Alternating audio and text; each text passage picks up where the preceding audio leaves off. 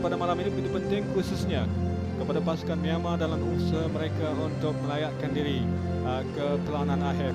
Hantaran yang baik kepada Zulfami Arifin, satu hantaran ke tengah peluang kepada Singapura dan oh sayang sekali peluang terbaik yang diperolehi oleh Khairul Nizam.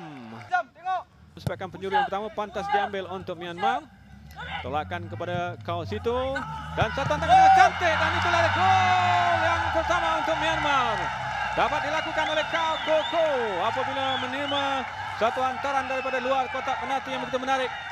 Uh, hasil uh, daripada pergerakan uh, daripada berpunca daripada sepakan penjuru menewaskan Nizam Aziz untuk gol Myanmar yang pertama 1-0.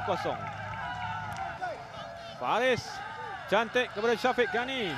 Peluang kepada Singapura Syafiq masuk ke dalam kotak penalti tetapi dia melakukan hantaran lintang yang tidak dapat dibaca oleh Faris Ramli. Selalunya pasukan Lions akan bergerak begini saja. Peluang untuk Myanmar sedikit lambat pula Nanda di situ kerana dia dicabar. Myanmar masih lagi menggak. Satu antaran yang baik. Peluang satu antaran lintang tetapi sudah pun berada di situ adalah Syamil Sharif.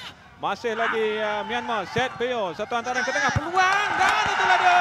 Gol yang kedua untuk Myanmar yang telah pun dijaringkan oleh pemain yang baru saja dimasukkan tadi yaitu So Kiao Kiao yang memberikan uh, kedudukan yang saya kira sudah mutamat untuk pasukan Myanmar